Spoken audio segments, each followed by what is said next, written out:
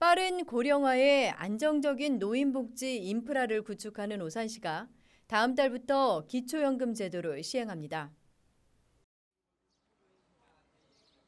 기초연금법은 지난 5월 국회 본회의에 통과돼 기존의 기초노령연금법이 폐지되고 전면 시행될 예정인데요.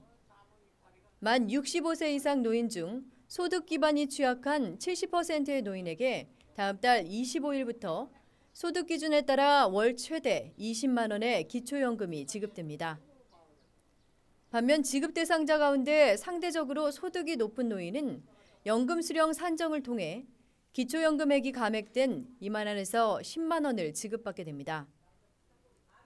기초연금 대상자 선정 기준은 소득 평가액과 재산의 소득 환산액을 합산한 소득 인정액이 단독 가구의 경우 87만 원, 부부 가구는 139만 2천 원 이하인 가구인데요. 현재 기초 노령연금을 받고 있는 경우 별도로 신청하지 않아도 7월부터 자동 전환돼 자격 심사를 거친 뒤 기초연금 수급을 받을 수 있습니다. 기초연금 신청은 다음 달 1일부터 가능한데요.